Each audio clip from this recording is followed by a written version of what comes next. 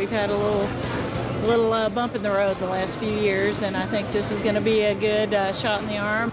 And we now know who U of L's next football coach is going to be. What do fans think? We have a reaction on 11 at 11 right now.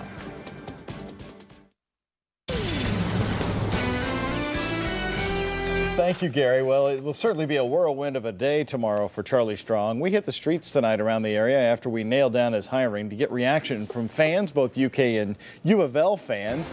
The 11 at 11's Joe Arnold continues our team coverage tonight. He's live at the airport with more on what will unfold tomorrow. Hey, Joe.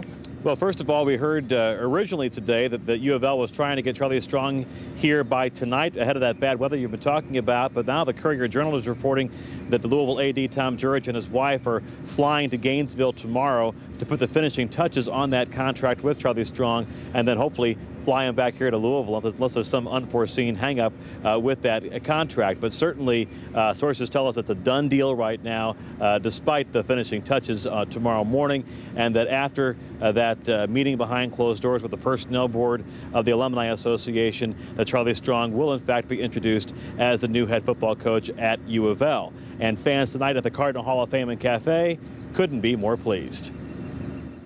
I am very excited as a former Gator fan and a U of L fan now, absolutely, I'm thrilled. Thrilled, excited, and ready.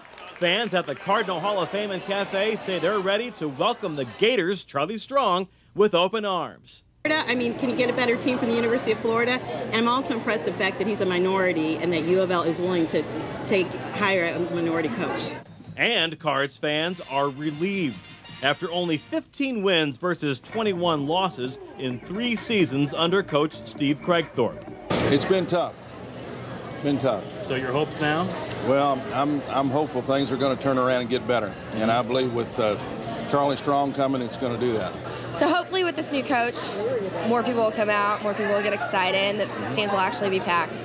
So you're a UK fan here at yes, the Cardinal I Hall of Fame and Cafe. Yes, I am. The food's wonderful. So what is your reaction to Charlie Strong? I think it'll be a much more competitive game. Mm-hmm. I'm real pleased with Coach Brooks, but I think that it's time for U of L to get somebody really good in there. And I think uh, Tom Jurich is doing a great job. Um, he's a player's coach. Uh, players respond to him, and uh, a lot of people don't think about this, but he's got the he's got the in on recruiting in the state of Florida, which I think is just a fantastic thing for the University of Louisville. And I lived in Florida and the Virgin Islands, so I watched a lot of Florida football, so I know who he is, and I think it's wonderful. So again, at 3.30 uh, tomorrow afternoon is when that uh, personnel board will be meeting, uh, followed sometime thereafter by the news conference introducing Charlie Strong. And then tomorrow night, we've also learned that some donors and other uh, board members and people close to U of L will be invited to a private party or reception to welcome him officially to the Ville. Live here at Louisville International Airport, Joe Arnold, WHAS 11 News.